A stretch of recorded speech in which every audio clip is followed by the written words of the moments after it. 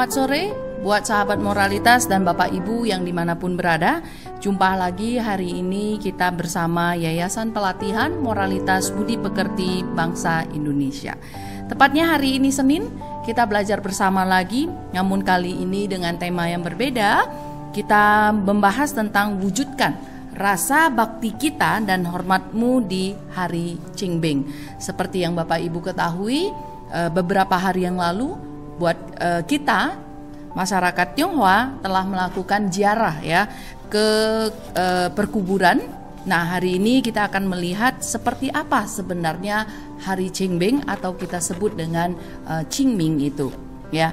Nah, uh, acara kita ada di jam 4 sampai 5.30. Nah, nanti kita akan berbagi bersama jika ada Bapak Ibu yang ingin bertanya uh, silahkan dikirim melalui live chat yang sekarang ini kita online di Facebook Yayasan Pelatihan Moralitas Budi Pekerti Bangsa Indonesia juga Instagramnya Erina Wongso. Baik sahabat moralitas dan Bapak Ibu, nah Ciming dan upacara peringatan untuk leluhur atau kita sebut dengan mengenang kebajikan leluhur dan kita membalas kebaikan budi dari orang tua. Nah, seperti apa itu? Nah, eh, Festival Qingming memiliki sejarah yang panjang, yaitu kita itu untuk mengenang leluhur, mengembangkan ajaran berbakti.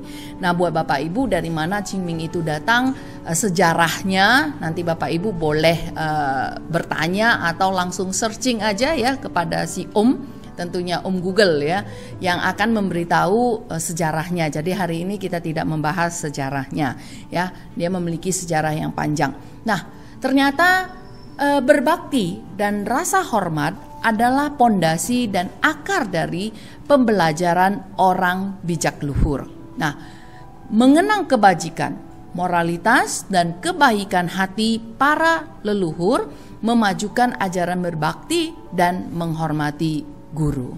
Nah, itulah dia yang kita sebut dengan ajaran berbakti dan rasa hormat. Apalagi untuk orang tua yang masih ada. Nah, yang untuk uh, leluhur aja juga kita diminta masih membutuhkan uh, rasa bakti dan rasa hormat kita. Nah, Pembelajaran dan pengajaran kuno yang diwariskan para leluhur dapat ditemukan kembali sehingga negara mampu menjaga yang namanya ketentraman dan stabilitas yang jangka panjang. Mengenang leluhur supaya kita tidak melupakan asal dan akar kita. Kita dari mana berasal? Ibaratnya adalah minum air harus mengingat sumbernya, yaitu kita harus tahu balas budi. Kenapa dikatakan bahwasanya ingat ibarat ingat minum air ini kita harus mengingat sumbernya. Sahabat moralitas dan Bapak Ibu, sadarkah kita minuman yang pertama yang kita minum adalah minuman yaitu ASI ya, air susu ibu yang pertama kali air yang kita minum. Nah, inilah disebut kita disuruh dan kita harus mengingat sumbernya Ya, jadi kita minum air itu e, bukan minum air keran ya waktu begitu kamu lahir terus dikasih air minum air keran atau air putih gitu ya, tapi tidak. Tapi yang air pertama kali yang kamu minum itulah air susu ibu. Nah, di sinilah kenapa kita awal pertama kita harus berbakti pada orang tua karena minuman yang pertama kamu minum itulah dari ibumu. Nah, itulah sumber utamanya. Maka kita harus tahu balas budi. Mengenang leluhur berarti kita membalas dengan kebaikan kita dan tidak melupakan diri sendiri dan untuk menggali rasa bakti kita. Orang-orang di zaman sekarang sudah mengabaikan, bahkan dia lengah dengan yang namanya berbakti berbakti, bahkan mensalahartikan apa sebenarnya itu berbakti. Banyak orang zaman sekarang berpikir maunya instan dan maunya juga gampang ya, nggak repot-repot sehingga berbakti itu ya seperti uh, cuman memenuhi apa? memenuhi uh, kebutuhan dari orang tua ya memang, tapi tidak hanya sebatas itu. Nah, berbakti itu ada beberapa uh, empat hal ya, empat hal yang harus kita jalankan kepada rasa bakti kita. Jadi jangan berasumsi, oh saya sudah kasih duit, saya kirim aja setiap bulan untuk orang tua saya. Oh saya kalau sudah lebaran, saya sudah Imlek, saya sudah hari apa gitu Natal, ya saya memberikan e, membelikan baju, membelikan tas dan semua kebutuhan dari e, orang tua saya dari ujung rambut sampai ujung kakinya saya penuhi. Dan tidak hanya sebatas itu. Nah, itu kita sebut dengan berbakti atau kita merawat. Berbakti yang pertama yaitu merawat badan orang tua. Nah, merawat badan orang tua ya seperti itu. Kita mungkin memberikan uh, makanan ya, kita mengirimkan makanan, kita mengirim uang, kita mengirimkan uh, kalau dia sakit, kita mengirimkan obat, kemudian kita memberinya makan, dan seperti itu. Nah, itu masih merawat badan dari orang tua. Nah, berbakti yang kedua yang harus kita jalani adalah merawat hati. Nah, merawat hati orang tua itu akan maju lebih selangkah bukan cuman sekedar uh, kita memberi makanan kepada orang tua, memberi pakaian kepada orang tua, tapi merawat hati yang paling utama adalah tidak memberinya menjadi beban pikiran, tidak menjadikan uh, kita ini sebagai beban di dalam pikirannya. Malah kalau dia ingat kita, dia akan uh, lebih nyaman, dia akan lebih santai dan dia uh, lebih merasakan uh, ya anakku sudah bisa dilepas. Jadi sudah punya ketenangan di saat dia memikirkan kita. Nah, itu lebih kepada kita merawat hati. Dan selain kita memberikan kenyaman, kenyamanan untuk dia dan kita sebaliknya juga memberi perhatian ya, memberi perhatian, menanyakan kabarnya, apalagi dia di saat sakit, merasakan apa yang dia rasakan di saat uh, dia sakit, uh, merasakan saat dia saat dia lapar, uh, sampai kita mungkin di saat kita makan kita bisa teringat orang tua kita. Aduh, orang tua saya makannya apa ya hari ini? Entah udah makan apa belum ya? Udah jam segini mereka sudah makan belum ya? Nah, seperti itulah kita memberikan dan merawat rasa bakti kita kepada uh, orang tua kita. Nah, kemudian yang ketiga, berbakti itu dengan cara merawat uh, impian dari orang tua. Nah, semua orang tua itu mengimpikan anak-anak yang uh, tentunya berbakti tidak hanya cukup sampai uh, cuman sekedar atau uh, jadi orang baik deh, tidak nyusahin saya aja atau dapat uang makan aja gitu ya, bisa mencari nafkah sendiri. Uh, tidak cukup sampai di situ. Nah, namun kita juga harus tahu uang yang kita dapati itu apakah halal yang pertama dan uh, sifat kita bagaimana meng menggunakan uang tersebut, sifat kita bagaimana bergaul, cara bicara kita. Nah, itu semua adalah segerombolan pemikiran-pemikiran orang tua yang mempunyai impian yang luar biasa mengharapkan uh, anaknya itu bisa mewujudkan impiannya. Nah, itu mengenai impian. Nah, sampai ke ujung tentunya adalah sukses. Sukses itu bukan cuma berarti sukses kita di duniawi sini dengan uang banyak, terus kamu marah-marah pada orang tua. Dengan kamu berpangkat, e, terus kamu ya merasa kamu harus didengar oleh orang tua. Ya bukan seperti itu. Nah, namun e, banyak impian yang lebih e, lebih luhur, ya tentunya menginginkan anak menjadi anak yang berbudi luhur. Nah, itu impian dari kita cara merawat atau berbakti pada orang tua merawat impian. Nah, yang keempat adalah merawat e, kebijaksanaan orang tua. Nah, ini juga adalah PR kita sebagai anak ya.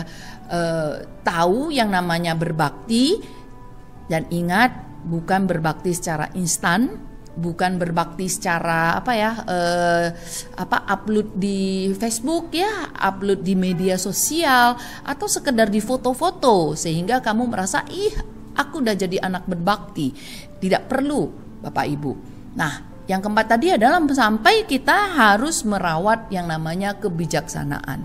Seperti itulah jika kita sebagai anak bisa melakukan empat hal ini, barulah kita disebut anak yang berbakti pada orang tua. Merawat kebijaksanaan orang tua itu adalah merawat bagaimana semakin tua itu dia akan semakin bijak. Dan maafnya semakin tua semakin dia mendekati eh, kontrak hidup di dunia ini, dia bisa lebih berguna dan dia bisa melakukan eh, hal-hal yang bermanfaat untuk hidupnya sampai nanti dia menutup mata, tabungannya cukup untuk dia berjalan. Nah, jadi ini juga PR kita sebagai anak yang paling berat yang harus kita lakukan yaitu membentuk kebijaksanaan orang tua. Nah, jadi jangan berpikir iya kalau sudah tua ya sudah pikun. Itu karena kenapa? Karena anak-anaknya tidak merawat kebijaksanaannya. Karena orang tua itu harus bertubi-tubi kita ingatkan bertubi-tubi kita kita memberitahu kita seperti anak-anak seperti kita mengajar anak umur 2 tahun. Harus diberi contoh harus diberi uh, bagaimana kita selalu menemani menemani di sini harus selalu mengingatkan. Uh, seperti anak-anak e, balita itu ya selalu harus diingatkan bahwasanya eh anakku kamu harus begini begini. Nah, orang tua untuk meningkatkan kebijaksanaannya ya juga harus seperti itu. Ya di saat dia lupa untuk misalnya kita mengingatkan di dalam hal e, menggunakan ibadah misalnya. Nah, dia lupa akan ibadah, ya kita ulang lagi. Besok dia lupa lagi, kita ulang lagi. Nah, itulah kita bagaimana uh, setiap hari meningkatkan kebijaksanaannya. Nah, buat Bapak Ibu kita yang belum tua, ayo sebelum kamu nggak dan kita tidak tahu apakah kita sempat tua dan tentunya sebelum kita sampai ke usia tua, eh, persiapkanlah menjadi orang tua yang bijaksana sehingga tidak menyusahkan anak-anak kita, tidak menyusahkan cucu-cucu kita dan semua generasi keturunan kita. Dengan kita semakin hidup, semakin tua, semakin bijak, semakin tua, semakin berharga, bukan berharga karena duit dan kedudukan kita, tapi berharga karena kebijaksanaan kita. Di usia yang sudah tua, kalau kamu diberi kesempatan hidup sampai 70, 80, 90 tahun, kami, kamu masih bisa bermanfaat untuk orang banyak, maka itu tidak akan menyusahkan anak cucumu nantinya. Nah, jadi buat kita orang-orang yang di zaman now ya, zaman sekarang ini uh, sangat mengerikan jika kita sudah mengabaikan dan lengah dengan yang namanya berbakti. Jadi berbakti itu uh, bukanlah hal yang uh, yang sepele ya. Kita tahu tidak sepele, tapi hal-hal yang kita lakukan adalah hal-hal sepele yang selalu kita lakukan. Kita maunya instan ya maunya uh, cepat maunya berasa uh, saya sudah berbakti kok. Dia mau ke mana saya antar dia mau makan apa saya belikan dia mau apa belum belum cukup untuk uh, cuman hanya sekedar seperti itu. Nah ini untuk orang ini untuk orang yang yang masih uh, hidup ya bapak ibu. Coba kita bayangkan kita juga diminta mengenang jasa-jasa leluhur kita. Ya contohnya kakek nenek kita ya kakek nenek kita itu adalah orang tua dari orang tuanya kita gitu loh. Jadi jangan berkata ah uh, udah kakek saya itu udah kakek kakek cicit cicitnya dan mereka punya jasa loh. Justru mereka membesarkan ayah ibu kita dan kita punya kesempatan dibesarkan oleh ayah ibu kita. Nah inilah disebut tadi kita ibarat air ya kita harus tahu sumbernya dari mana. Nah ini yang kita harus ingat di saat kita mengunjungi atau kita ziarah ya mungkin uh, buat kita semua Bapak Ibu uh, semua agama ada melakukan ziarah. Namun kita harus tahu apa maksud dari ziarah. Jadi jangan sampai kita melenceng dari uh, hal yang sebenarnya yang memang dikumandangkan oleh setiap uh, makna ya setiap agama makna maknanya itu yang harus kita uh, dapat. Jadi jangan sekedar oh cuman yang kita tahu ya sekarang kadang jarah itu ya sekedar-kedar ngumpul, jarahnya nggak sampai satu jam, tapi uh, kepengen ngumpulnya itu reuninya itu ke sana kemari gitu loh sehingga melupakan uh, yang namanya sebenarnya mengenang leluhur itu punya arti yang sebenarnya ya semua hukum di dunia ini membutuhkan landasan yang namanya ketenangan dan keharmonisan. Jadi hukum barulah dapat ditegakkan. Mulai dari mana dilakukan? Nah, kita harus tahu dimulai dari mana. Nah, lakukan mulai dari diri kita sendiri. Nah, diri kita sendiri, kemudian keluarga, kemudian kelompok kecil. Kita harus hati, maksudnya gunakan hati kita seperti ini mendengarkan perkataan bijak ya, perkataan orang bijak dahulu yaitu kembalikan hati berbakti dan rasa hormatmu dan kemudian mempraktekkan serta melaksanakannya.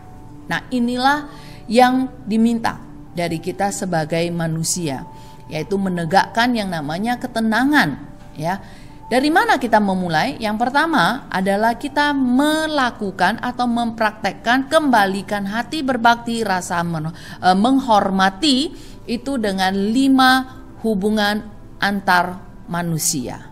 Nah, apa itu lima hubungan antar manusia? Seperti di yayasan kita selalu uh, ada kelas ya buat Bapak Ibu dan sahabat moralitas di mana pun berada. Nah, seperti ini. Ini dia lima hubungan uh, antar manusia. Yang pertama adalah membahas hubungan orang tua dan anak. Kemudian adalah hubungan atasan dan bawahan, kemudian hubungan antara sesama saudara, hubungan antara suami dan istri dan hubungan antara sesama teman. Inilah disebut hubungan antar manusia. Lima hubungan yang kita lewati bersama manusia yang mana pun ya. Nah, baik. Setelah itu, kita juga harus menjalankan yang namanya ucang, lima kebiasaan e, manusia. Apa saja kebiasaan manusia itu? Ada kebaikan, ya, ada keadilan, ada kesopanan, ada kebijaksanaan dan bisa dipercaya. Nah, Bapak Ibu, lima kebiasaan manusia ini ya yang sudah beberapa hari yang lalu kita juga sudah banyak membahas uh, apa hubungannya lima kebiasaan manusia ini dengan lima uh, organ tubuh yang penting di dalam tubuh manusia ternyata uh, punya hubungan yang cukup erat ya kalau kita mempunyai habit yang baik yaitu habit lima kebiasaan manusia ini. Nah, yang ketiga kita juga diminta praktek yaitu empat pemikiran dan gagasan. Di dalam pikiran kita itu harus ada yang namanya kesopanan, keadilan dan tahu rasa malu.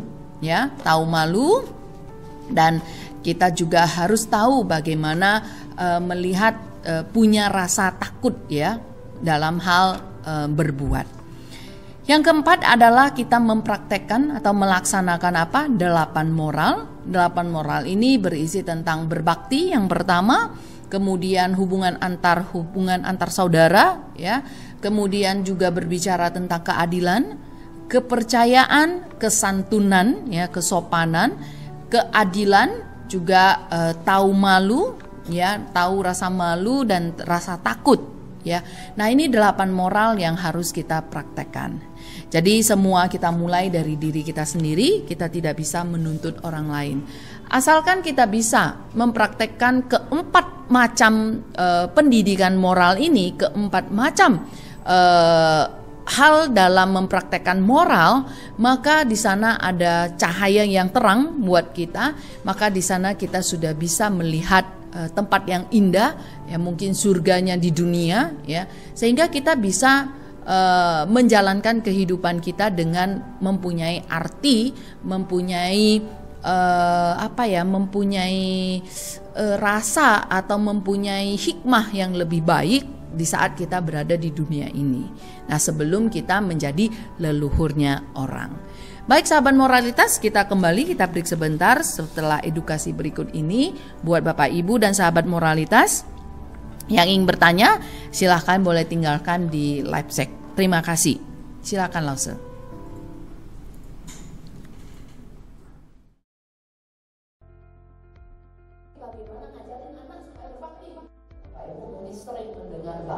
Tapi bagaimana ngajarin anak supaya berbakti? Benar ya?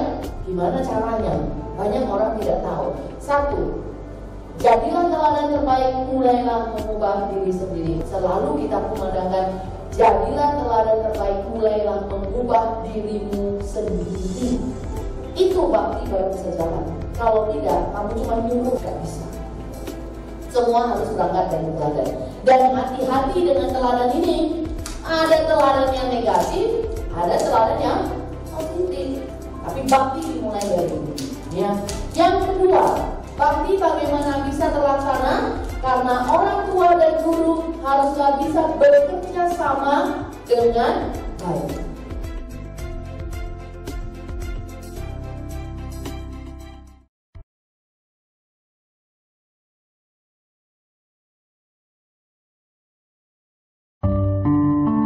Sahabat moralitas, kita kembali lagi di pembelajaran kita hari ini yang bercerita masih dengan uh, wujudkan rasa bakti dan hormatmu di hari Qingming. Jadi kepada leluhur aja kita harus punya sikap uh, bakti dan hormat ya, apalagi kepada yang masih berada di depan mata kita ya. Tadi kita bercerita tentang uh, empat hal ya, empat pembelajaran yang harus kita uh, kembalikan hati berbakti kita dan rasa hormat juga mempraktekkan serta melaksanakan. Yang pertama adalah lima hubungan antar manusia lima kebiasaan manusia uh, kebiasaan baik manusia empat pemikiran dan gagasan yang harus kita masukkan. Yang keempat adalah delapan moralitas. Dalam bidang pendidikan Ksara Mandarin itu berbicara tentang kepercayaan dan keyakinan ya leluhur terutama berfokus pada pembelajaran dan pengkajian dengan cermat tentang mengenang akhir dengan hati-hati mengungkapkan rasa terima kasih terhadap leluhur serta juga percaya bahwa rohnya leluhur di langit akan terus memberkati dan melindungi keturunannya. Nah, inilah rasa yang harus kita berikan, ya, rasa terima kasih. Masih tetap berterima kasih walau leluhur kita sudah tidak ada. Karena kenapa rasa terima kasih harus kita bangkitkan? Berkat leluhur kita lah maka bisa merawat ayah dan ibu kita. Karena ayah ibu kita sehat, maka ayah ibu bisa merawat kita sampai di sini.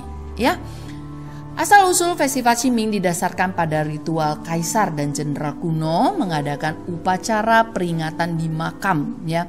Kemudian kalangan rakyat mengikutinya mengadakan ritual dan membersihkan makam yang telah menjadi satu tradisi tentang masyarakat Tionghoa ini. Nah, tadi tujuan sekarang sekarang kita akan melihat tujuan kita mengenang leluhur itu untuk apa ya. Nah, dalam buku Lunji ya mengatakan bahwasanya uh, art yang mengatakan bahwasanya Senjung Cui Yuan Ming Te Kui Hou artinya dengan berhati-hati dan penuh hormat kita mengatur upacara perkabungan dan pemakaman orang tua mengungkapkan kesedihan dan duka cita mengenang leluhur di masa yang lampau melakukan ritual dengan tulus dan penuh hormat dengan cara begini, perilaku moralitas rakyat akan menjadi semakin murni, semakin jujur, dan semakin tulus hatinya. Inilah akar dari kita mengajar dan belajar.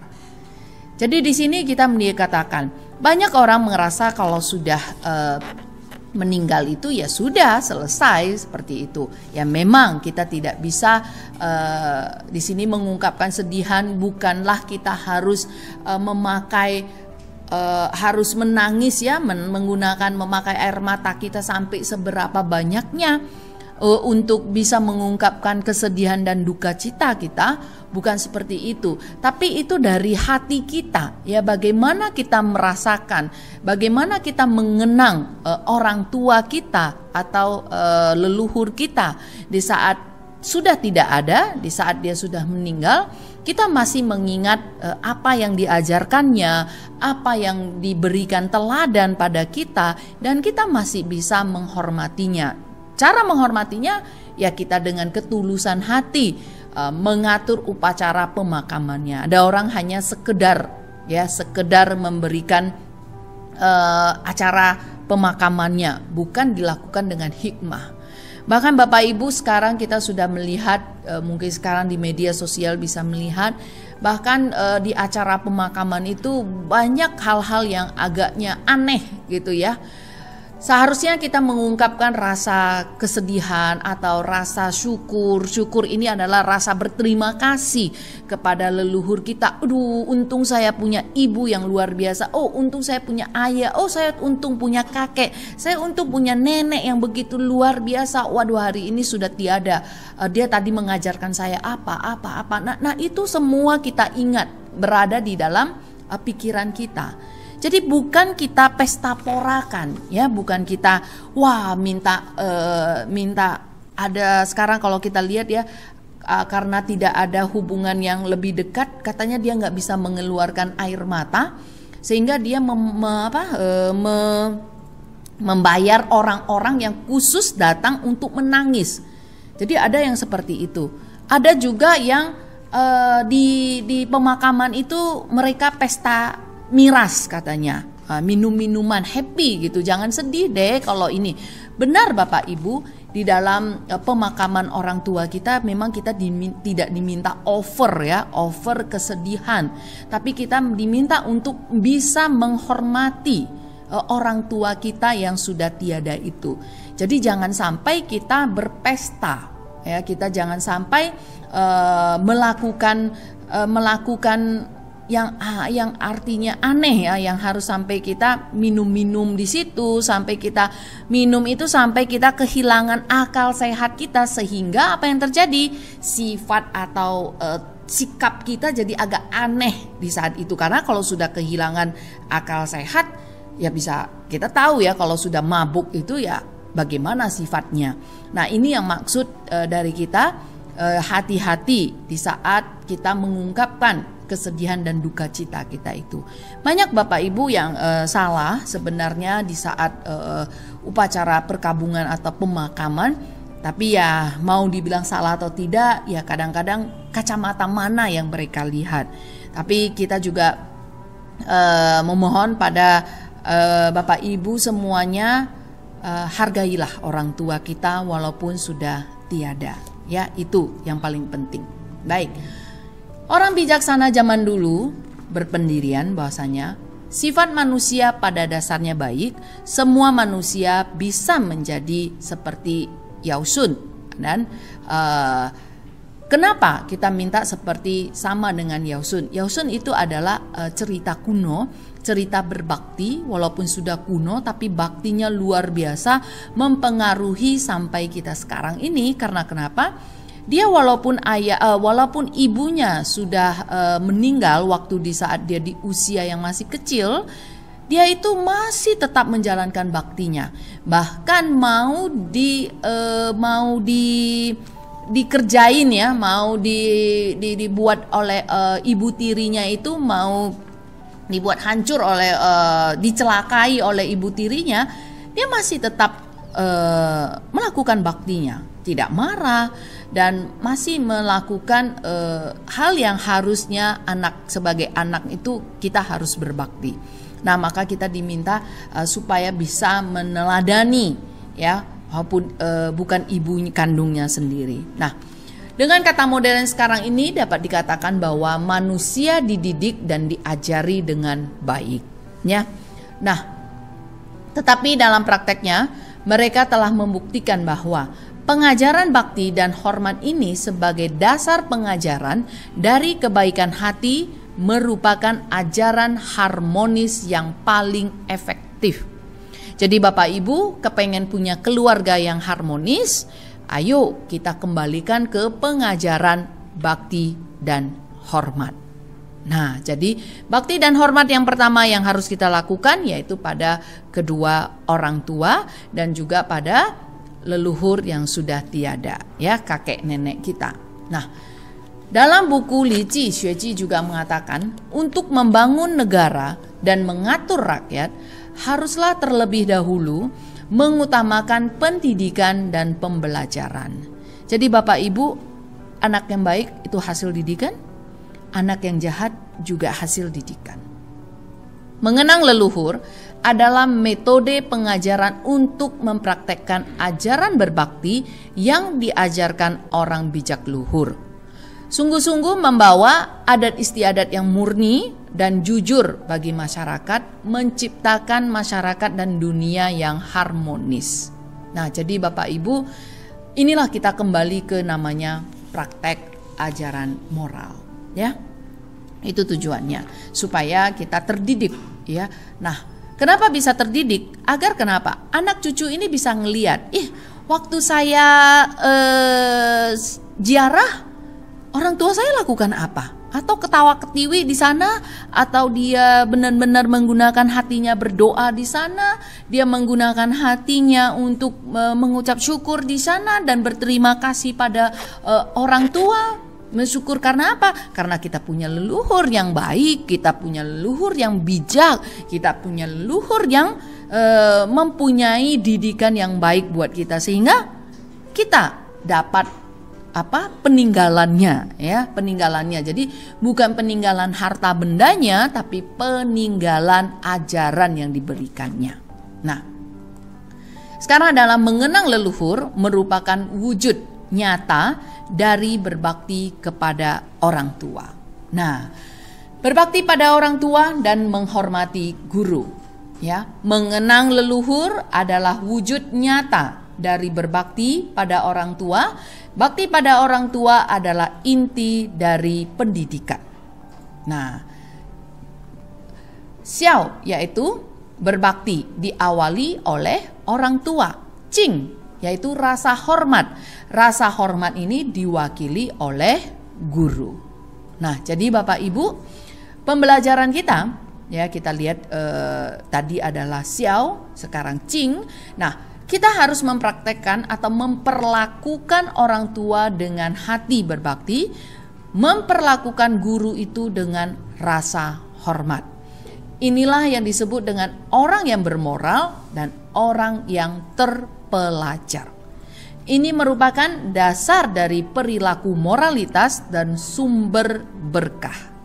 Jadi Bapak Ibu, jika ingin memperbaiki ya, memperbaiki uh, nasib, memperbaiki uh, keluarga, memperbaiki kehidupan kita, tentunya harus dipegang dari kedua poros ini, yaitu memperlakukan orang tua dengan hati berbakti, memperlakukan guru itu dengan rasa hormat. Jadi, supaya kamu disebut orang yang bermoral karena kamu memperlakukan orang tua dengan hati berbakti. Kamu mau dibilang orang yang terpelajar karena kamu memperlakukan guru dengan rasa hormat. Nah, inilah sumber-sumber kita mendapat berkah, ya. Seseorang yang berbakti dan menghormati guru berada di lingkungan apa pun tetap mendapatkan berkah. Seseorang yang tidak berbakti dan tidak menghormati guru, orang seperti ini tidak akan mendapatkan berkah. Jadi Bapak Ibu sinyalnya gampang sekali untuk kita tahu, eh aku hari ini berkahnya kok berkurang ya. Aku hari ini kok sial sekali ya. Aku makin lama kok sekarang makin ini ya. Nah, di sinilah kita harus tahu bahwasanya uh, apa ya? Kenapa berkah kita semakin berkurang? Kenapa keberuntungan kita berkah itu seperti keberuntungan ya? Keberuntungan kita kenapa semakin berkurang ya? Nah, kita harus koreksi diri.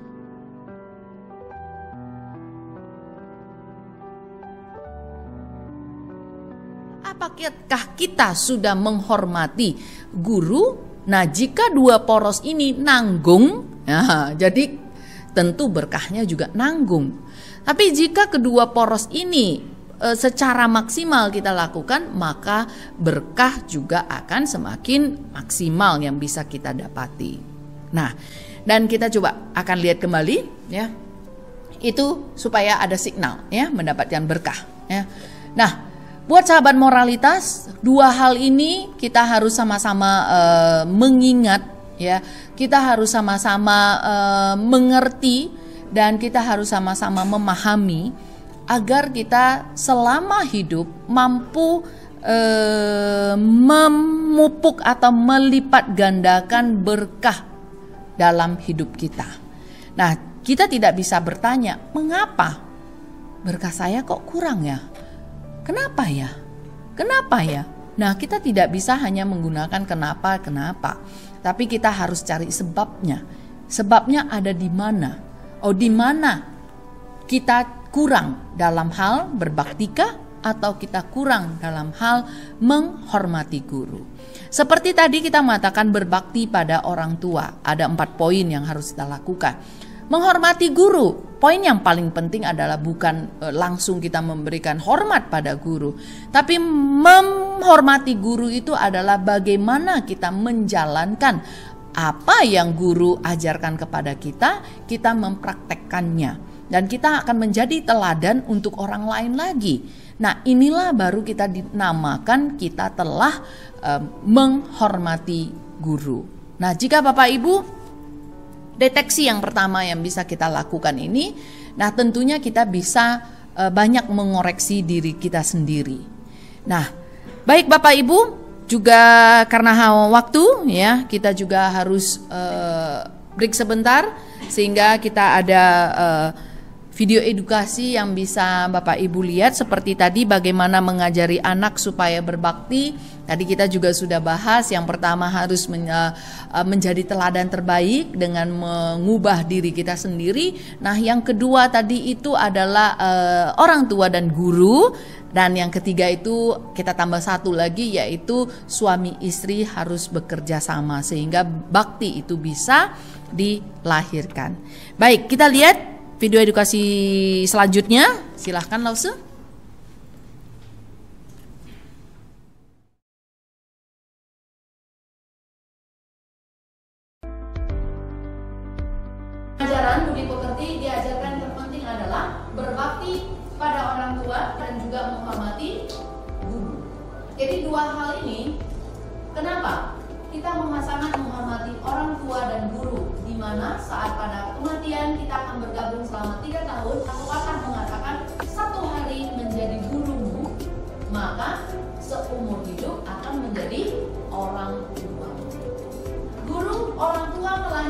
Kita, mendidik kita, memberi kita kehidupan.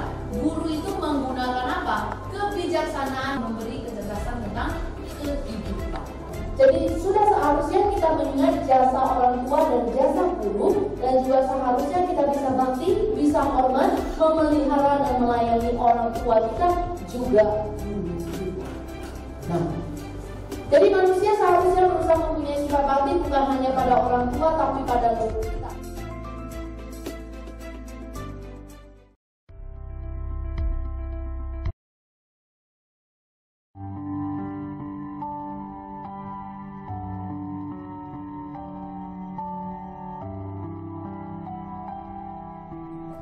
Baik sahabat moralitas dan Bapak Ibu di mana pun berada, kita berada di sesi yang terakhir.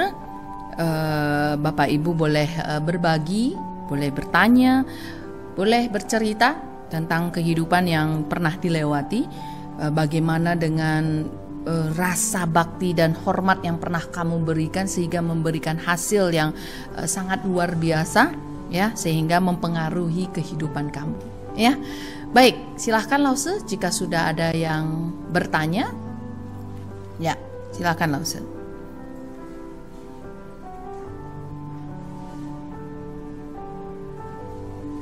Nah, buat Bapak Ibu yang masih uh, belum bertanya, ya boleh uh, kita tunggu di live checknya dari yayasan yaitu Facebooknya Yayasan Pelatihan Moralitas Budi Pekerti Bangsa Indonesia juga di Instagram ya live di Instagramnya Erina Wongso.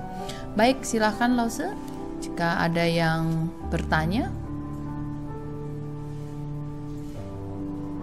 Baik. Uh,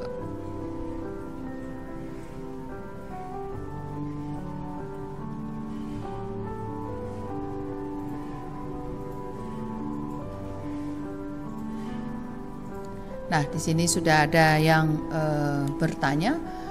Saya mungkin harus di in ya. Terima kasih. Ya, katanya selamat sore Lause, selamat sore. Terima kasih buat pembelajaran hari ini Lause. Maaf sebelumnya Lause saya ingin memberi pendapat.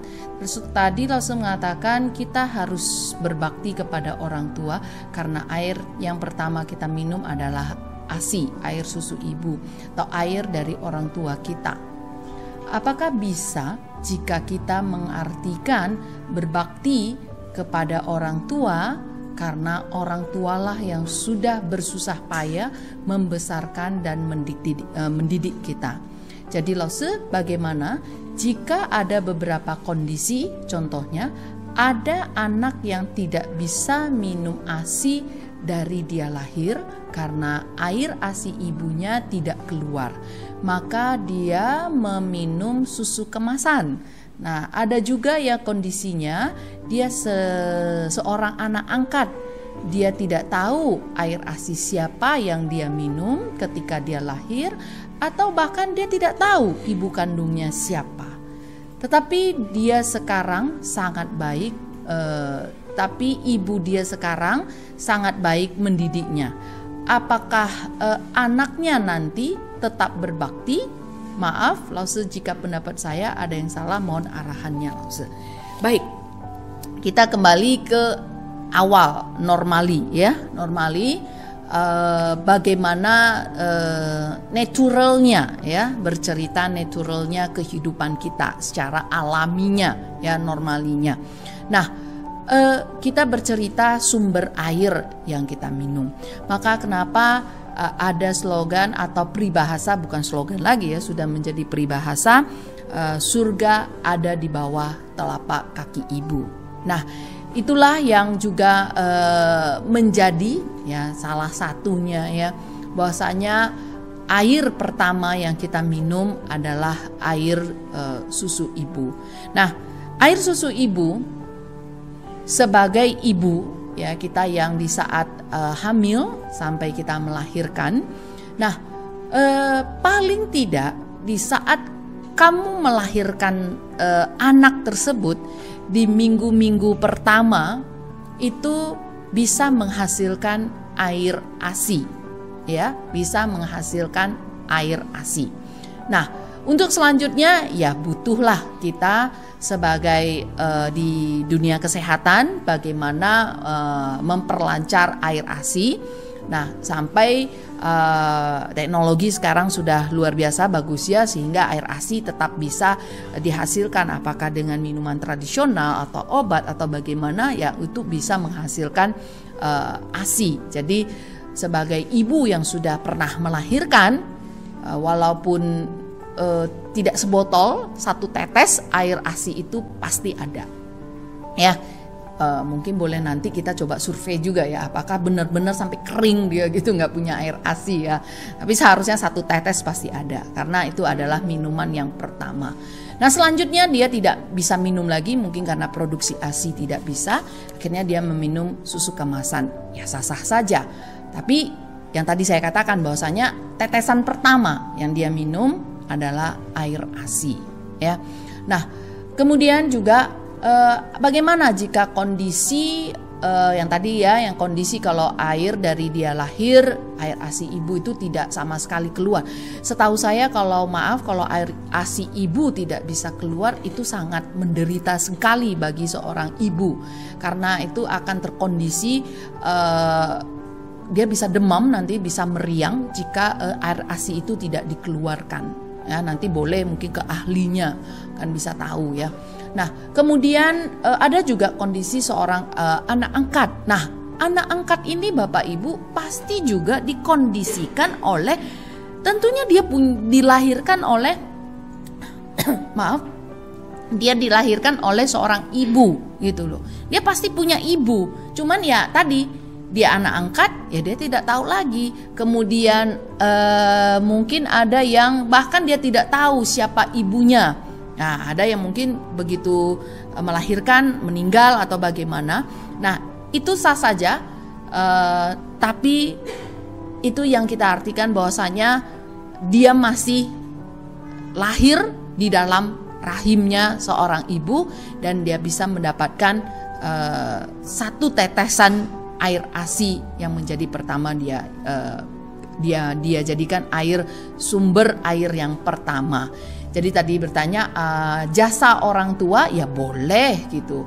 Nah jadi banyak yang bertanya ada yang sudah ibunya tidak ada lagi atau ibunya entah ke mana atau ya sekarang di zaman now ini kita banyak melihat ya ibu membuang anaknya saja begitu saja. Nah, itulah uh, yang harus kita cegah ya. Kondisi seperti itu. Nah, kemudian pertanyaannya apakah uh, anaknya nanti tetap berbakti? Nah, kembali nanti ke ajaran dari orang yang mendidik. Nah, seperti orang tua saya, ibu saya itu ada ada dua ibunya, ya. Satu uh, ibu yang melahirkannya, ya, ibu yang melahirkannya uh, nggak tahu di usia berapa, ya, entah begitu dilahirkan atau usia berapa saya lupa. Uh, kemudian dia di, diberikan kepada uh, adik adiknya, adiknya sendiri. Jadi, nah jadi dia punya dua dua ibu. Kenapa dia diberikan? E, karena di saat itu kondisi ibu yang melahirkannya itu sangat sangat sangat sangat miskin sampai nggak bisa kasih makan. Jadi akhirnya diberikanlah mama saya ini diberikanlah oleh ibu yang satu lagi itu adiknya ya. Nah, adiknya inilah yang membesarkannya. Jadi dia ada ibu yang melahirkannya, ada ibu yang membesarkannya. Jadi dua mamanya. Nah, itu kondisi waktu uh, sudah sangat lama. Jadi karena uh, masalah ekonomi.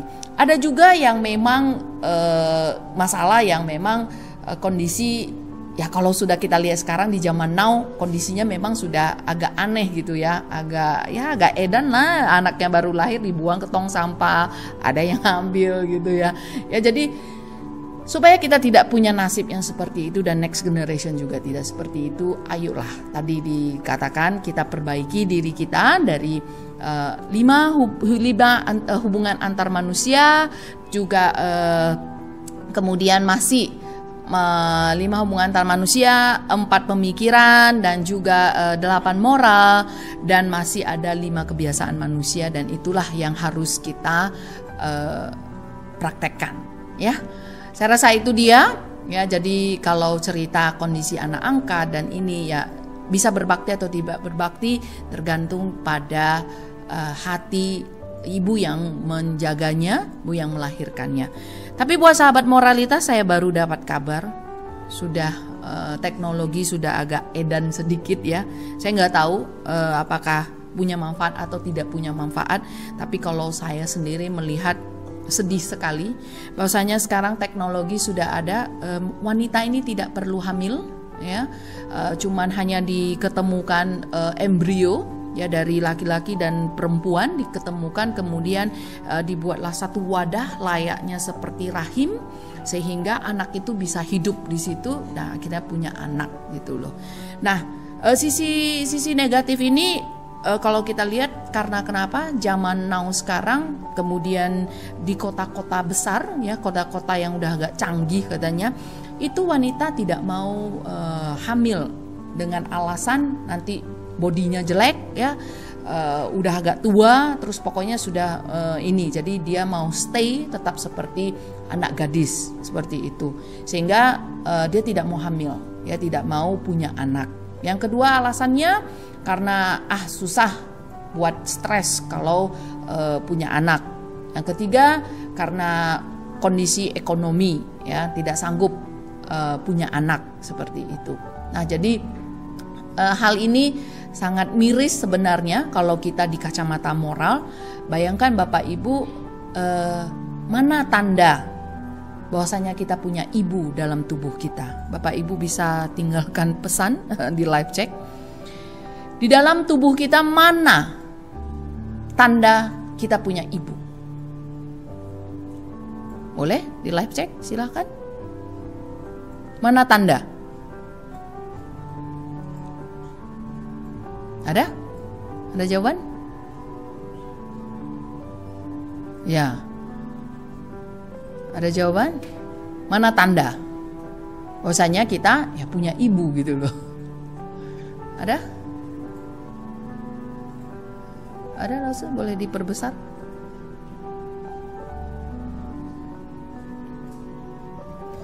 Ya, tanda-tanda kita. Ya, benar. Pusar ya, benar. Ya, pusar kita itulah tanda ibu kita. Ya, kalau saya kita punya ibu gitu. Coba bayangkan bapak ibu, gimana nih teknologi ya? Agak gimana gitu ya?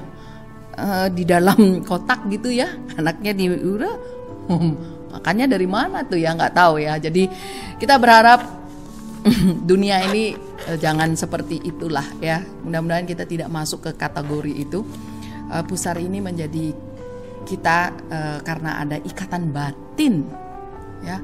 Bayangkan kalau sudah di kotak dia sama siapa batinnya? Dan bahkan saya melihat agak edan sedikit katanya kalau ini salah produksi kalau nanti anaknya sudah dibesarkan agak agak kurang ini uh, bisa dihancurkan seperti produk di apa tuh? Di pabrik gitu loh. Jadi gagal produk ya. Gagal produk bisa dihabiskan gitu. Jadi sahabat moralitas ya teknologi sah-sah saja. Mungkin banyak yang karena rahimnya tidak kuat ya. Karena uh, hal kesehatan dia tidak bisa uh, memberikan uh, tidak bisa hamil. Ya itu mungkin salah satu. Tapi kalau uh, bisa kita mesti mengecek kenapa saya tidak bisa hamil kenapa saya tidak punya anak nah nanti semua jawaban ini ada bisa kita temukan di uh, pendidikan moral ini sampai kita diberitahu kenapa sampai kamu tidak punya anak cucu Nah itu itu ada uh, ada sebabnya sahabat moralitas. Jadi uh, jangan salah. Dan sekarang teknologi udah ya kita lihat. Maka kita lihat maafnya kadang telur aja tidak perlu nikah dia bisa bertelur ya ayam gitu ya. Jadi heran dari mana lah itu dia. Nah jadi nanti wanita dengan pria nggak usah nikah dia punya anak gitu ya. Nah jadi sahabat moralitas uh, ikatan batin ini akan semakin lama apakah semakin uh, ada atau tidak semua tergantung dari Bapak Ibu yang hadir hari ini yang mendengar pembelajaran ini agar bisa uh, kembalikan man, apa manusia kepada naturalnya ya kepada yang semestinya ya memakai hati itu uh, harus ada ya. Baik sahabat moralitas masih uh, kita tunggu uh, pertanyaan selanjutnya. Apakah masih ada? Oh, oke okay, baik. Uh, jika sudah tidak ada, jadi terima kasih buat sahabat moralitas yang masih uh, terus belajar, ya masih uh, meluangkan waktu untuk uh, meningkatkan diri dan juga hati-hati jangan asal hanya meningkatkan diri ya nanti akan menjadi uh, orang yang apa yang memperbanyak ilmu pengetahuan tapi lupa akan praktek dan pelaksanaannya sehingga kita terlena nantinya. Sepertinya kita, oh saya tahu banyak ya.